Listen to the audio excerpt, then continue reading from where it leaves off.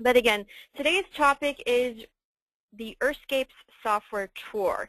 And as we get started with Earthscapes, I'm going to work with the Earthscapes 1.0 and the Corel X4 platform, so Corel PhotoPaint X4 as well as Corel Designer X4.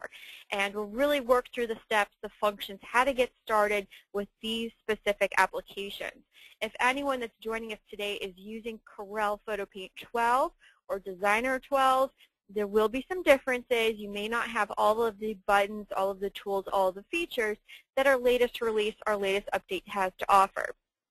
But let's go ahead and get started. As reviewed, the Earthscapes design software offers both photo imaging and site plan designer.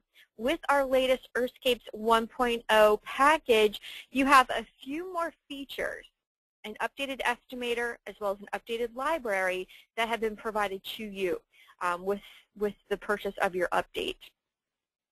So when we want to begin a design, we want to create either a photo design or create a site plan design, there's one thing that we need to do first, and that's to open up Earthscapes.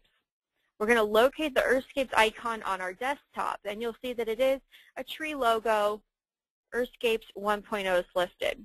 If we double-click on this icon, the application will open. When you are connected to the internet, you should have a panel that appears on the left-hand side of your screen. This panel provides to you hot links to some of the most frequently used pages uh, that we have available to you as our customer. Number one, we have the home page. If I click on home page, you'll see that the internet page is launched and it goes directly to the Earthscapes the visualimpactimaging.com address. And this is where you can gather general information about visual impact as well as the Earthscape software. And we'll just close out of that window. Another hot link that's provided, to, provided for us is the support link. We can click on support. At this time, it's going to load to the visual impact page, providing just some information about support. Um, this could this could change and more content will be added um, in the future months, but basic information in terms of who to call. This is the contact number. This is the contact number for support. When you call in for a support question, call this number. And when you reach a representative on the other line in the Visual Impact Imaging office, you'll be requested to provide your company name as well as your name. If a technician is not available to take your call and your question at that immediate time, they will call you back within uh, a reasonable time, uh, 5 to 10 minutes for a call back. So we'll just close out of this window. Also available within the hot links of the Earthscapes application, we have the chat forum.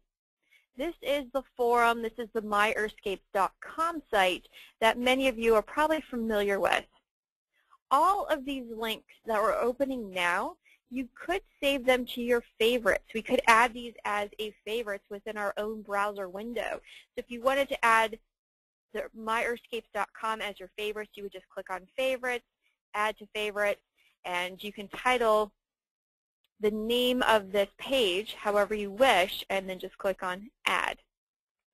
But you always have easy access to this forum page directly from the Earthscapes window. Of course, to enter into the forum, all we have to do is click here to enter the forum.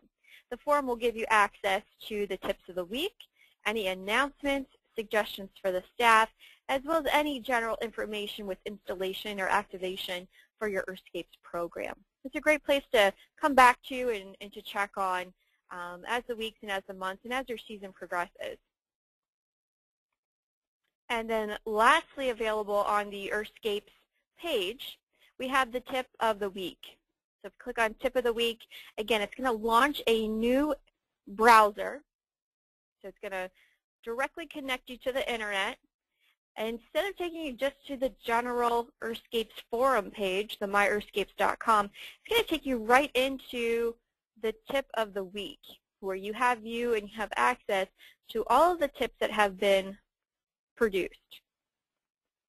To review additional tips, we can just click on um, different pages where these tips are made available, and you can scroll or you can perform a search if you are looking for a particular topic um, or if you're looking for any um, specific information on the forum site. You can enter in the keywords here and then click on search. Also navigating the Earthscapes page, I'll just click on to close our internet. Um, to work on the Earthscapes page, if I do go to my File menu, you can see we have Open, we have New Project, and Recent Projects. The methodology of using Earthscapes is to produce a project name, uh, produce a project file. So when we go out to the Smith property, we have a new project that we'll be working on. We'll be creating a photo design as well as creating a site plan and possibly an estimate. So when we open up Earthscapes for the first time, you can select File and New Project.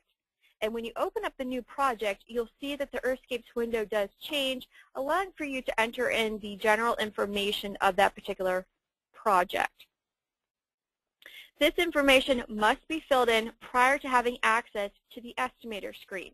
So if you wish to create an estimate, you must open or create a new project. The fields that have an asterisk, those are required fields. And once all fields are filled in, you can then advance to the next page, which is just confirming the project name and confirming if it's the same project details, same project information as the, the client information. Also available within the Earthscapes window, we do have some options. Options allow for you to customize the Earthscapes program. For example, if you wanted to enter in your company information, your company address, uh, as well as import a company logo. All this information would appear when you create, produce, and print your estimate. You also have the option to enter in a company slogan, which would be displayed at the bottom of your printed estimates. And you have the option to tax your products, tax your labor, and what tax rate. Available within the options window, we can go into user print preferences. User preferences, just to describe what is available, when you print your estimate, you can choose to print on blank paper. Printing on blank paper will use the logo that you've imported and we'll create kind of a, a template, a letterhead for you.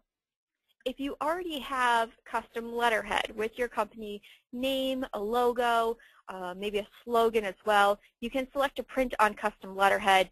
That means when you print your estimate, you're going to place that custom letterhead into your printer prior to uh, fully printing the estimate that's produced for you.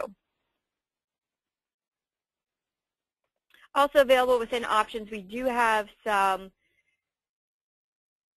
some file locations of where items are situated and located within the Earthscapes program. Most often we won't have you do anything with this particular application's tab um, unless we had to integrate the settings or the customizations with Corel, then technical support might take you to this particular tab and have you uh, make some changes with this particular setting. Anytime that you make a change within the options window and you click on close, you will have a save change dialog message that appears. And of course, if you have made change, yes, you would want to save those changes. Available within the Earthscapes window, we have a direct button for Corel. Corel, when you click on the Corel button in the, the File menu, or within our menu bar, running across the top of the Earthscapes window, we have access to Corel Designer as well as Corel Photo Paint, Corel Capture, and Corel Trace. The two major platforms that works with the Earthscapes program that has been customized for Earthscapes for your needs as a landscape designer, as an independent contract, as a design build firm are both Corel Designer as well as Corel Photo Paint. When we wish to create our site plan designs, we want to work with Corel Designer. So when we want to produce those overhead bird's eye designs, all of your line designs, Um, you start with a survey plat. Um, maybe you just start with the measurements of the property. You want to produce a two-scale drawing, a site plan of your project. You'll click on Corel Designer. When we select Corel Designer, you'll notice that the application does open.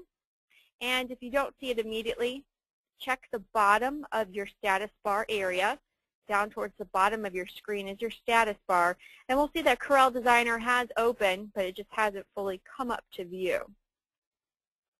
With Corel Designer opened, if we want to maximize the screen, let's just navigate to the right upper right-hand corner of our Corel Designer window.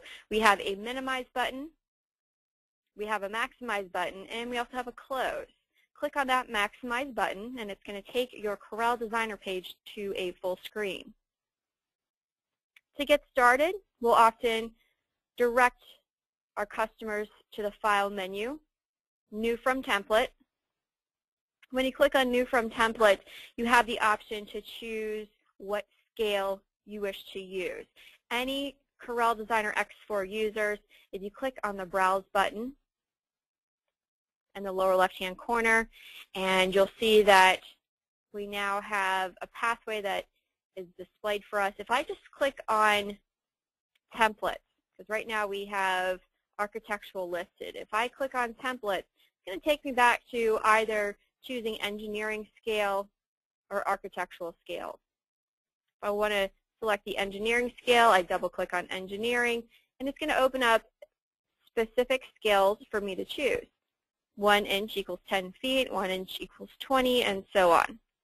If this is not the desired scale that I'd like to use, I opened up engineering and I'm thinking, no, I'd rather use an eighth scale. It's easy enough to change. We'll go back to our pathway, which sits on top of the screen. So let's just do that once again. So we'll navigate up to the pathway that's displayed for us. Right now we're selected on engineering. Let's just click on templates.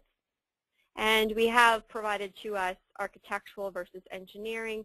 We know we don't want the engineering scale. We'd rather have architectural. Double click on architectural and then we can choose our 1 8 scale and click on open.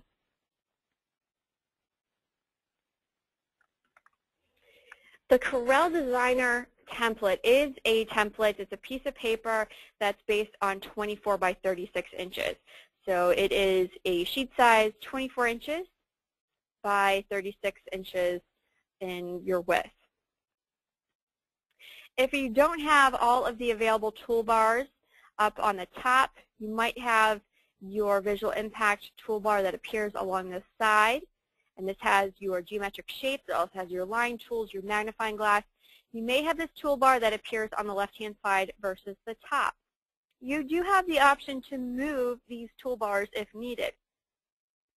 For example, if I wanted to move my standard toolbar, which has my line tools, it has my dimension tools, it has my magnifying glass, if I'd like to move this so it does sit on the left-hand vertical of my screen, all I need to do is navigate over to the far most left-hand side of that toolbar, you'll see my cursor changes. And I move over to that extreme left of the toolbar. I can then left-click and I can drag. And you'll see that I can pop the toolbar completely out of place. So it is its own independent window. And if I'd like to place our, the toolbar on the left-hand side of the screen, I'm just going to left-click, and in the blue toolbar area, around the border, the, the toolbar border, I can left click and I can drag. And as I drag over to the left-hand side of my screen, you'll see that that toolbar just morphs right into the left-hand side of the screen, and now our toolbar is displayed on the left-hand side. Again, we're going to go to the up the upper top of this toolbar area. You'll see the cursor changes. I left click and I drag. I can pop that toolbar out of place. And if I wanted to position the toolbar on the horizontal, I can just move my cursor to that area and you'll see that the toolbar does change and we can even slide it over a little bit farther. So you can change your toolbars. Another thing to be uh, aware of when you're working with either Corel Designer or Corel Photo Paint is which toolbars are selected. And with the designer application, most often you will have your first five toolboxes, toolbars selected. If we do take one of these away, so if you're ever missing a toolbar, the easiest way to get back to it or to see if it has been disabled is to go into the top menu bar area, so the top toolbar area, right click. This will produce for you all the toolbars that are selected and I say, oh, my toolbox. The first five items should be checked. Let me check toolbox and there's our standard toolbar. There's our toolbox that does offer our line tools, our geometric shape, as well as a magnifying glass. Again, if you have a toolbar that's missing, simply navigate to the top of your screen in the toolbar area. You'll right-click, and it's going to bring up which toolbars are selected for you. Okay, so we have our toolbar, which does allow for us to draw lines, draw shapes, zoom in and out with the magnifying glass. So this is probably your most frequently used toolbar for designer. You also have, just above this toolbar, the ability to change your units, which when you begin a design, you do want to change your units to feet.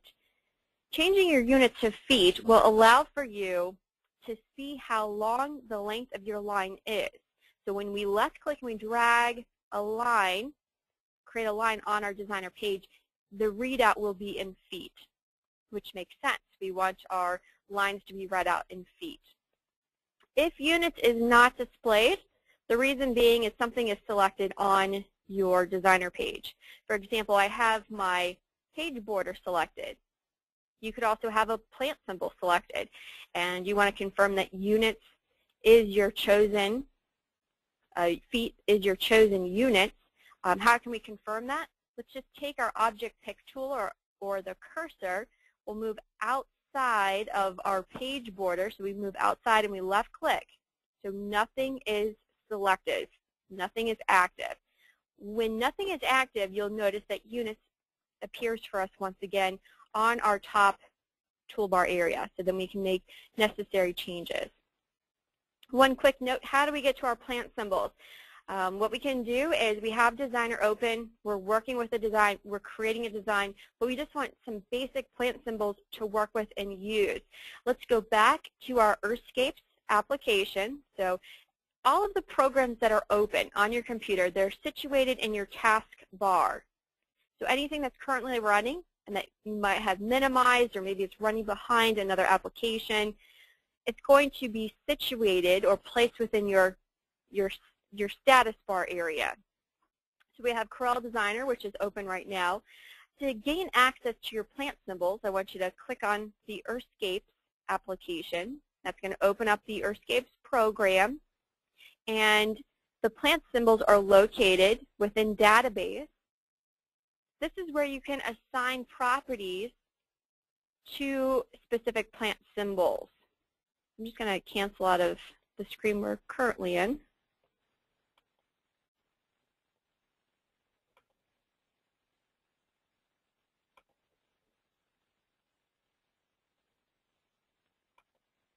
Okay, so when we click on database, it opens up the database for us to assign properties to our plant symbols. But let's take a look on the far right-hand side. You'll see that we have architectural symbols listed. This is where your plant symbols are also situated. We can pop this library of symbols out so it doesn't become its own window, and that's by clicking on this button for your window. So we have this floating library of symbols.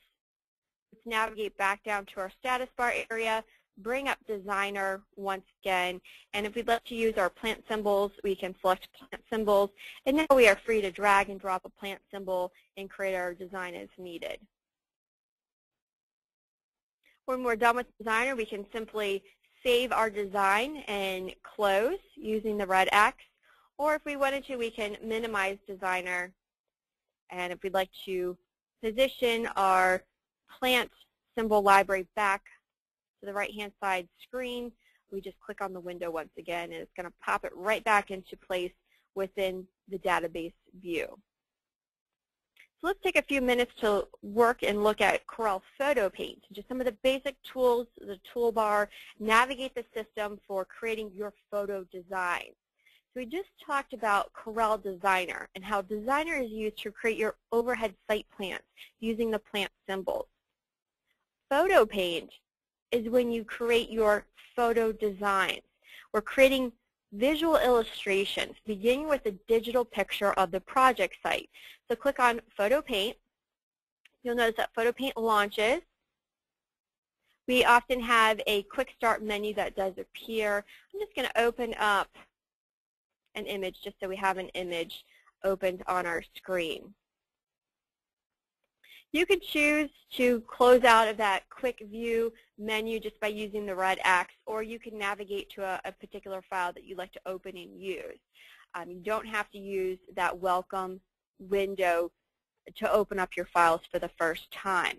Most of our customers will actually open up files by going to the File menu, selecting Open, and navigating to the picture of the project site um, that might be saved in My Pictures. It might be on your digital camera that you have plugged into your uh, laptop, plugged into your computer, and you'll navigate to that location just by clicking on the File and Open menu. Within Corel Photo Paint, we see that we have Corel Photo Paint open. That's our title bar that appears across the top of the screen. We're working with Corel Photo Paint. Again, Corel Photo Paint is to create the before and after visuals, the photo designs. When you're working with Corel Photo Paint and let's say the toolbars aren't matching up with maybe the tutorial lesson or perhaps you're missing a toolbar altogether. Very similar to Corel Designer, we can move up to the horizontal toolbar area and right-click within the gray space. And you'll see that we have the very first four toolbars selected, which is standard. So you should um, have the very first toolbar selected. As a default, you'll have toolbox selected, but that does not have the customization. Instead of just a standard toolbox, we need to have the VII toolbox, which is the Visual Impact Imaging toolbox. This is where all your customizations are, the clone tool, the texture tool, access to your different textures such as the mulch, the pavers, the grasses. If this is unchecked, and to uncheck this toolbox, all you have to do is left click, you'll notice that it removes that left vertical toolbar. It's gone. So to gain access, to pull it back up, all we have to do is navigate back up to the top of our screen in the toolbar area, the gray toolbar area, right-click. This will bring up the toolbars that are active, that are selected, that are in view within our Corel Photo Paint application. And we navigate down to VII Toolbox. This is your custom toolbox. And we simply left-click, and you'll see that your custom toolbar is displayed where we have the clone tool, we have our clone from fill, our texture tool, our fill bucket, and of course your different fills or textures. If you wish to change the location of your toolbar, again, we can go to the upper, the top of our toolbar area where you see these, the dashed line running across. Your cursor does change when you navigate or move on top of that dashed line. We can left click and we can drag, and we can make this toolbar independent, so it's a floating toolbar, where we can pop it up to the horizontal, or as a standard, that VII toolbox does sit on the left-hand side of your screen. To gain access to the photos, um, all of your design elements, plant material, hardscapes, architectural elements, any objects that you drag and drop to create your designs, those are all saved and you can gain access to them from the Earthscapes window. So again, we have Corel Photo Paint open at this time. We want to continue creating a design. We want to grab another object from the library. To do so, locate the Earthscapes icon in your bottom status bar area. We'll click on the Earthscapes icon. Select Photo Imaging Project. That's going to bring up the ES library. The ES library has a dominance in that it's going to be the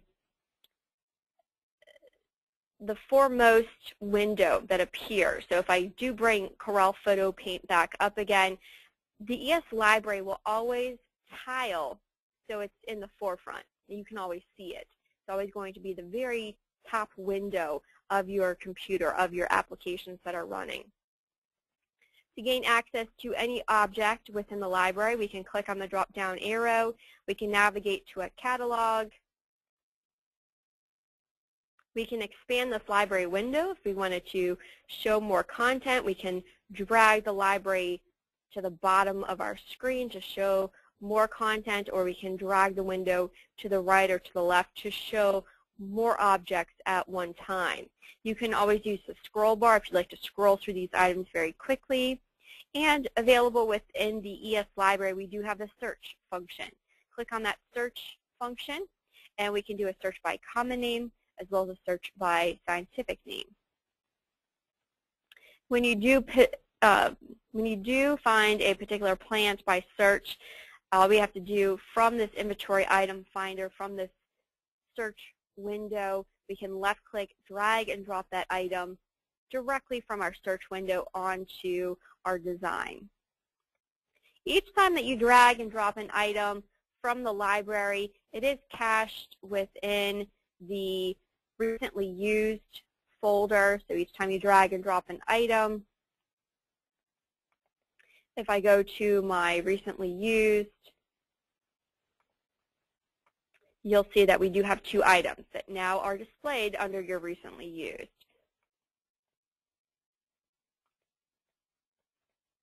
To minimize the library, I can use the minimize button. You'll see that you don't have an extra icon for that library. So to gain access, again, for your Earthscapes library, when we cursor over the Earthscapes application, we have the general Earthscapes program, or we have the ES library. Click on ES library. It's going to bring your library back up for you. If you want to close completely out of the library, we can use the red X to close out of the library. So let's just return back to the Earthscape application. This is your general screen. This is where you have access to both Corel Designer to create your overhead site plan designs, as well as Corel Photo Paint. That's where you'll create your before and after visual designs. To gain access to just a standard default plant symbol library, you'll select Database. On the right-hand side of this database screen, this is where your symbols are located. You have access to architectural symbols, plant elevation symbols, as well as your standard overhead plant symbols. To pop this window out of our database screen, we just click on the icon of the window, and it's going to make our plant symbol library an independent floating window. When we have Designer open, we can click on Designer and freely select our plant symbols, drag and drop those plant symbols from our plant symbol library. To pop that plant symbol library back into the Earthscapes software, let's just bring Earthscapes back up on our screen, and then we just click on the same button, the window button, and it's going to pop it right back into that database window. The same is true for Photo Paint. If we want to work on a photo design, we can launch Corel Photo Paint from the Earthscapes window with Photo Paint open on our screen. If we'd like to add more design objects, photos, pictures of plants, pictures of architectural elements, water features, pavers, return to the Earthscapes window in the bottom status bar area and select the photo imaging project. This is going to open up the Earthscapes library and then click on Photo Paint and we can select any item, any catalog within the Earthscapes library, drag and drop, and continue to create a design. So we hope this was a good tutorial, a great refresher for those of you using the Earthscapes program, uh, a great reminder of where the tools are, um, where you get access to a lot of the tools, the, the buttons, the features, the functions within the Earthscapes program. And this is a great refresher um, and also uh, just a great reminder of where those tools are. And as we begin our additional training webinar series, you can always come back to this particular presentation just to get the overview, the refresher of where do you gain access to the different elements of the overall Earthscapes program. So I hope you enjoyed your time today. Um, we will have another training webinar. It's scheduled for Monday, November the 21st. And that's going to cover specifically the use of plant symbols on an overhead site plan design. So we hope that you can join us. And I thank you for your time today. If there are any questions, I'm going to take a look to see if we have any questions that came in. If you have any further questions, you can always call into the office, and that's available at 330-259-7661. We had one question that came in, um, can you copy symbols in Designer? Yes, and that's going to be true for both PhotoPaint as well as Corel Designer. And let's just show how we can copy a symbol in the Site Plan Designer application. So when we have a symbol, selected and we like to duplicate or copy the symbol. We have a symbol selected. All we need to do is press Control D and it makes a duplicate, makes a copy. Again, have a symbol selected. It's selected because we have nodes, resizing nodes that appear around this object or around this symbol. Again, press Control on your keyboard plus the letter D as in dog and it duplicates that symbol for you. To learn more about symbols, join us next week for our plant symbol training lecture on Monday, November 21st. Again, thank you everyone that joined us today. The video of today's session will be available for viewing later. And have a great day. Bye-bye.